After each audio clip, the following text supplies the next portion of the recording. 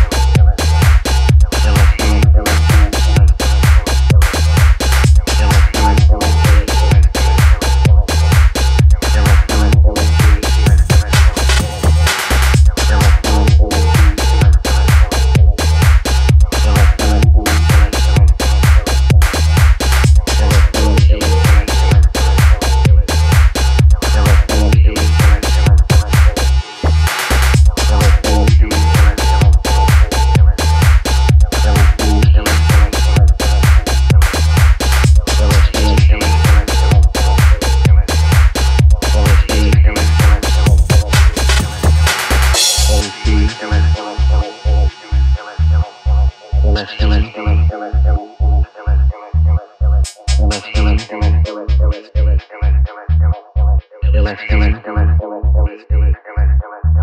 Today, the Americans live in a drug habit culture. who depend upon tranquilizers, pep pills, alcohol, nicotine, LSD, mescaline, dimethyltryptamine, psilocybin to get them through the trials and the joys of each day.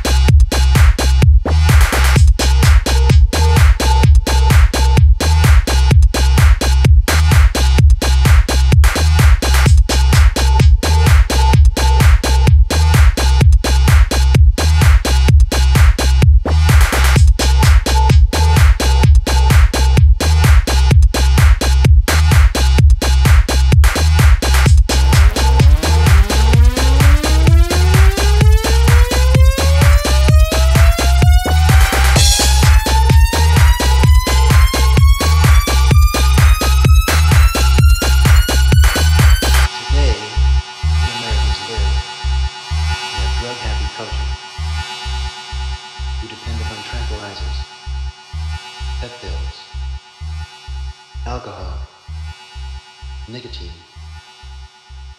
LSD, mescaline, dimethyltryptamine, psilocybin, to get them through the trials and joys of each day.